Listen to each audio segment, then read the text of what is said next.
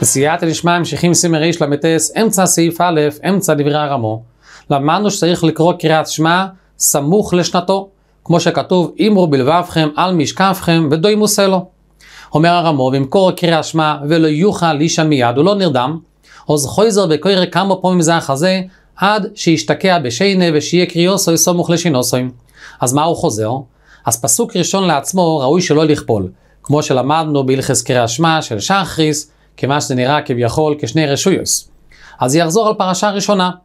ובזה אפילו שיש מחמירים לא לכפול, הבקריש של המיתו מובא בסמס א' שאפשר להקל, וכמו כן פסוקים מהפסוק הראשון והלאה אפשר לכפול. או, אומר המשתברור שיאמר, שאר פסוקי דרחמה, שאר פסוקים שרחמים עד שהוא ירדם. הוא הדין אומר המוגן אברום, אם מערער בדברי תרא, שפר דומה.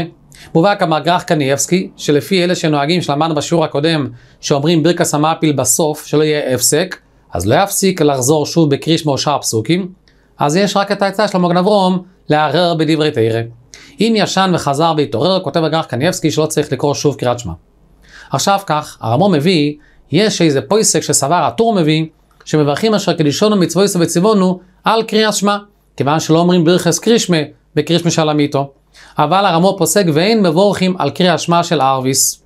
אומר רבי רלוכה, שאף שאמרו מצווה לקרוא ישראל מיתוסוים, מכל מקום אין זה בכלל מצווה דרבונון שיש שייך לברך עליה. אבל בקרישמה בשחר וערב, אותם הברכות שאומרים ברכס קרישמה עולים כאילו נברך אשר קדישנו מצווה וציוונו לקרוא ישמע. מביא המשתברו מי שישן ביום לא צריך לברר ברכס המפיל.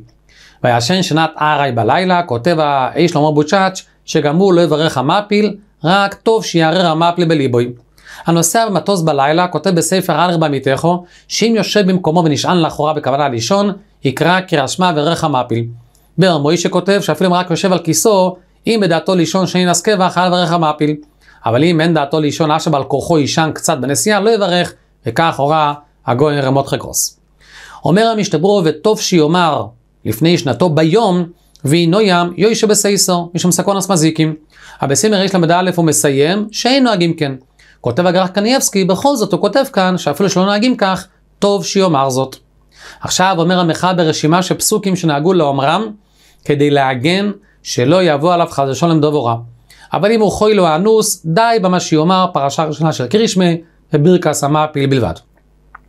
אז איזה פסוקים אומרים? ויאמר, יוישה בסייסר עליון, את המזמור הזה, ואומר השם מור אבו צורי עד להשם הישוע, ואומר ברוך השם יוים ביום, ברוך השם בלילה, ברוך השם בשוכבנו, ברוך השם מקומנו, ויאמר השם על הסוטון, יגער השם בכוח הסוטון וכולו, השם שמרך וכולו מעט ועדוילום, בהיותך אף כדרוכי וכולו, יבורך השם וכולו עד ויוסם לכו שולם, ואומר אשכיבנו עד סמוך לחסימה, ברכס אשכיבנו בלי החתימה.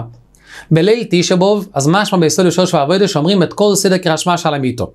רב ניסים קרליץ הורה שיאמרו רק מה שכתוב בשולחון אורוך, אבל לא מה שהם מוסיפים בסידורים, בפרשה שנייה ושלישית של קריאת שמע. הגרח קניאבסקי כותב שכמדומה, שאומרים בליל תשבוב רק פרשה ראשונה של קריאת שמע וספוסוק, בהיות חף כדרוכי וברכס המפיל. אוינן שקבורת המת למחרת ביום, כותב הגרשה זוהרבור שנראה שחיה בקריאת שמע של המיתו. בליל יום טוב ראשון של פסח, כותב הרמו לקמו משים את תוף פ"א, שיאמר רק את הפרשה הראשונה, המשתברו מוסיף שיאמר גם ברכס המפיל. מביא המשתברו כתבו הספורים שבלילה לפני השינה נכון לאדם שיפשפש במאיסוב שעשה כל היום.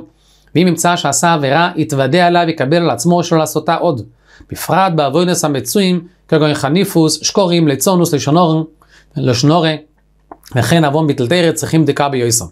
גם ראוי למחול לכל מי שחטא כנגדו בצערו, ובזכות זה, כתוב בגמור המגילה, האדם מאריך ימים.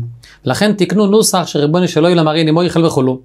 אבל אם יש לו טינה על האדם, הוא לא מוכל באמת, כותב האור לציון שלא יאמר נוסח זה משום דוי ושקורים. מביא המשתברור אמור חז"ל, היושן בבייס יחידי בלילה, אוחזתוי לילי, זה שד. ובית זה חדר, לא כל הבית. ולכן אומר השער הציון שאם הוא ישן בחדר לבד, בבית יש עוד אנשים, שלא ינעל את הדלת. אבל דווקא יחידי, אם יש עמו אפילו תינוק בן יוימוי, אין כל חשש מובא כאן, גוי, ספק אם זה מועיל.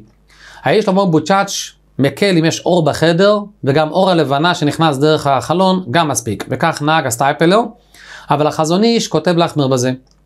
הכף החיים כותב שגם אישה אסור לה לישון לבד, מאידך באיש לאברום מסתפק בזה. האיש לאברום כותב ששנס ערעי מותר לישון יחידי. מביא המשתברו, אילו צריכים שימום המזיקים שלא יהיו לבד, חוילה, חיה, דהיינו יולדת, חוסן, קלה, אובל. ועוד ותמיד חוכם בלילה, היינו כשהוא עומד יחידי באישון לילה באפלה. בתם הוועדה מובא כמה רש"י בברוכס, שחוילה, חיה ואובל, הוא רע מזלם, גם יולדת הייתה מצב סכנה, ולכן השד מתגרה בהם, חתן כלה תלמיד חכם, השד מתקנא בהם. הגרח קניאבסקי כותב שאפילו שבמהרש"ל משמע שיולדת צריכה שמירה שלושים יום, קיבלנו מהחזון איש שדי בשבעה ימים, והוא מוסיף שהתינוק עצמו גם נחשב כשמירה. לעניין חולה צריך שמירה עד שיעברי ויצא מכלל סכנה. ונעבור לסעיף ב'. סעיף ב' כמדומני שהפירוש הוא כך: בזמנם לא ישנו עם בגדי לילה, אלא התפשטו והתכסו בסדין. עכשיו אדם צריך לזר לא, לא, לא, שגופו לא יהיה מגולה. אז יש שתי, שתי דרכים לפשוט את החלוק. חלוק ארוך המלבשו על כל הגוף. אפשר לתפוס למטה ברגליים ולהוציא זאת דרך הראש. אז שהוא עושה כך, הוא מפעיל את שתי הידיים להפשיט זאת, קשה לעשות זאת באופן שהוא מכסה מיד את עצמו בסדין. לכן הוא מחזיק ב, ב, בראש החלוק בצוואר שלו, ושם הוא שולף את החלוק ומוציא אותו דרך ראשו, ואז בינתיים מתכסה בחלוק כך שלא מגולה בכלל.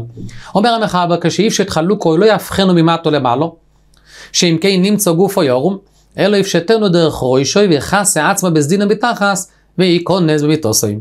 וכאן סיימנו בסייעתא דשמיא את השיעורים על משתברו חלק בייז, יעזרנו השם להשלים ולסיים את כל שאר חלקי המשתברורו, עד כאן הדף היומי.